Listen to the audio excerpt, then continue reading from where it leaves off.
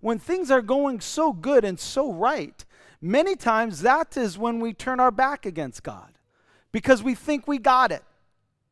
We think we could actually get up off the anvil of life, if you will. And when I say anvil, I'm talking about our lives being in God's hands and God shaping us and molding us and stretching us and making us uncomfortable. The craftsman here is pounding and he's shaping and he's twisting, and he had to put this piece of metal in the fire where it had to get so hot that it was flexible. That he could now create anything that he wanted to create out of that piece of metal, he could do because it was, it was in the fire and on the anvil as long as the craftsman wanted to keep it there. Are you following me?